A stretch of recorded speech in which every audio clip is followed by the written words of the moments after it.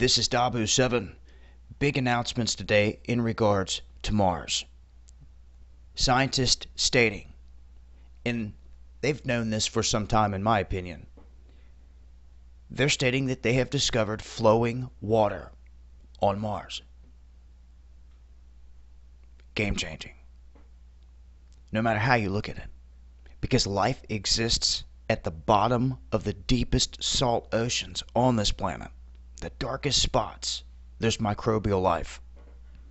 And they've stated that there are, are massive, these areas where massive lakes existed.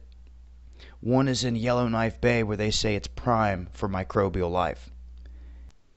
So we have the admission that there is water flowing here, although they're saying that what they're detecting is salty, meaning it's briny, it has salt inside of it. And this is that makes sense because salt will allow the water to not freeze. You see? And it will allow it to get to the surface. And somehow they're saying that it looks seasonal, that these tracks, these flows of water are being released when it's warmer and disappearing in the winter. But what is odd is that it's taken place near the equator which you normally do not find ice. They've, they've found it and discovered large pockets in the polar regions, which is another huge announcement. They have ice, and I've said this time and time again for those that's been following me that Mars here is going to be the key. And to open the minds of the people, and there's going to be deception woven in there, no doubt. You have to use discernment. We're dealing with NASA, all these people that have been keeping these things from us for the longest time, but for some reason now, here just a couple days before they drop this movie called The Martian, they're stating they have discovered flowing water on Mars, and that is game changing. This is definitely game changing. I'm going to tell you why. Because from here on out, all the guys that were discovering things and seeing things on Mars that were called nuts or conspiracy nuts, Uh, are, that are not. They're going to be looked at like, oh, wow, maybe you did find something. Maybe that is a structure now. Okay, because what? Once the only people arguing with you are the sheep because they've been spoon fed lies their whole life. But now that they're about to come and open Pandora's box, which they just have, because a decade ago they told you where you find water, there is life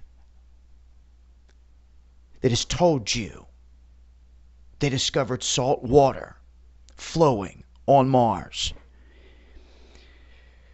I think that they're trying to get a gauge on how intelligent people out here are too, on or just how ignorant some other people are going to be all the way up to the end, and that's going to work to their advantage in this deception. But they're, what they're telling you is that there's flowing water, even though it's briny, it has salt in it. That's it makes perfect sense. That's why it's there in existence on this cooler planet. You know, that we know of. All of science is twisted just to fit what they want us to think. You see, this changes everything because now you have to start to explain or start at least searching for where is the water coming from because they're not giving a definite for where that's coming from. There could be an underwater aquifer Come on, guys, use your brains. We have them here on this planet. They make for the biggest freshwater resources that we have underground aquifers. Why would Mars be any different? And if they're discovering salt water flowing on the surface of this planet, I can guarantee you there is water underground on this planet. In mass. And if it exists and lives here on this planet, it looks to me like it's the same there. The questions that are going to start coming out the woodwork is what happened to Mars. And that's going to have its own deception tied into it, in my belief. They're not going to just come out because they're going to have to explain everything. And to me, even if you look at the myths, the myths state that Mars was destroyed in war do your research. Even symbolized war. But regardless, there's a lot of digging to do, and this is a big admission. And I was hoping it was going to be along the lines of a fossil they discovered, but this this does the job just fine. They've discovered flowing water, and you could say, "Oh, well, it's salty water. Who cares? Salty water here on this planet has mass life in it." It's time people open their minds up and see what's going on right in front of them. They expect disclosure to be them come out and say that all these ships are in the sky. What if they're going about it a different way, where they can still manipulate you and what you think of about your history?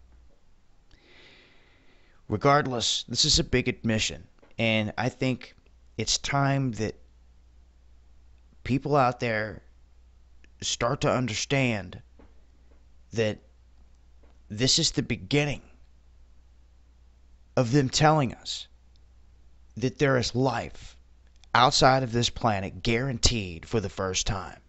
It's a common sense factor. Where you find water, especially in an area like this, as hospitable as this, even though it looks destroyed and wasted, and we can't see no surface water and all that, doesn't mean anything. The fact that there's flowing water there is huge. They know it. They have known this. So, what this makes me believe is that they've discovered something even bigger. And now it's time to speed this whole thing up because if they want to get this where they want to get it and actually get to trying to go go to Mars or explain how they're already there,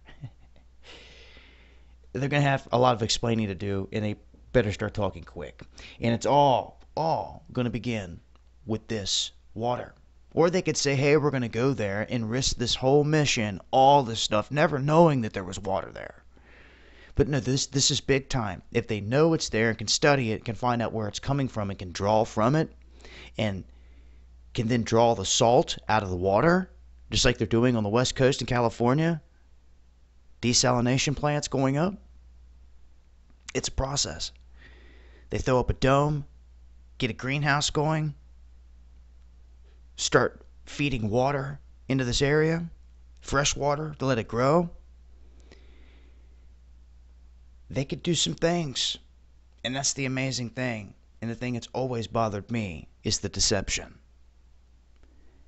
NASA keeping us in the dark about everything. And even though they're telling us this, there's so much more they're keeping from us. Obviously, there's life and life everywhere, in my opinion. All these planets, even this one, there always has been for some reason, they're deciding now is the time to tell the masses. To me, they're saying life is on Mars. That's what it screams to me. May take the rest of the class some time to catch up here to realize what they're saying, but I'm telling you, the writing is on the wall.